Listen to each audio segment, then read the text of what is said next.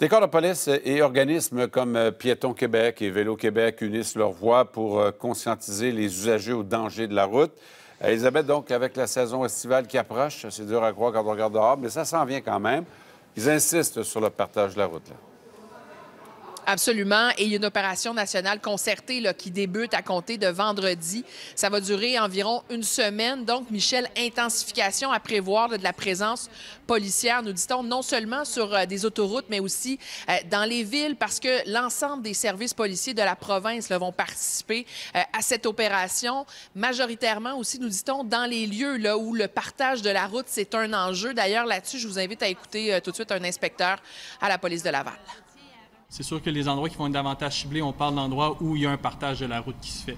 Donc, si on prend Laval comme cas type, bien, on parle des stations de métro, de l'université, des cégeps, des zones scolaires. Donc, nos, nos policiers vont être davantage présents dans ces endroits-là, dans le but d'assurer la sécurité de tous les usagers sur le réseau aussi. Et je souligne, euh, Michel, que c'est la première fois que cette opération nationale concertée se fait en collaboration justement avec Vélo et Piétons euh, Québec. On nous a présenté des chiffres aujourd'hui, euh, des données préliminaires sur le nombre de décès automobilistes, piétons et cyclistes en 2023 comparativement à 2022 et 2021. Si vous regardez, ce qui retient l'attention notamment, c'est le nombre de décès de piétons qui a quand même diminué considérablement en 2023 par rapport à 2022, mais il faut le mettre en contexte quand même. Euh, la directrice générale de Piéton Québec.